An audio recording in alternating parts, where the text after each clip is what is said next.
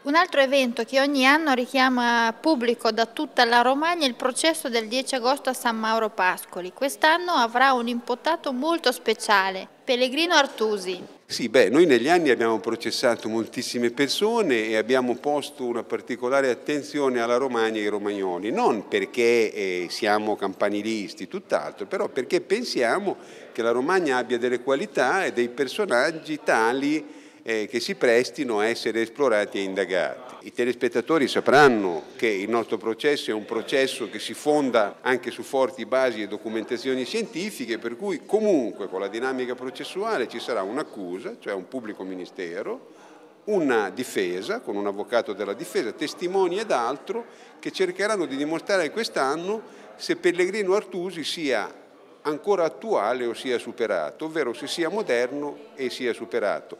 Certamente tutti quanti sanno che Pellegrini Autusi è uno dei fondatori della cucina italiana, oltre che dei fondatori in qualche modo dell'Italia attraverso il suo libro, attraverso il suo italiano, eccetera. Quindi insomma è uno dei padri della patria e noi vogliamo capire se sia ancora attuale, se il suo insegnamento sia ancora valido oppure no.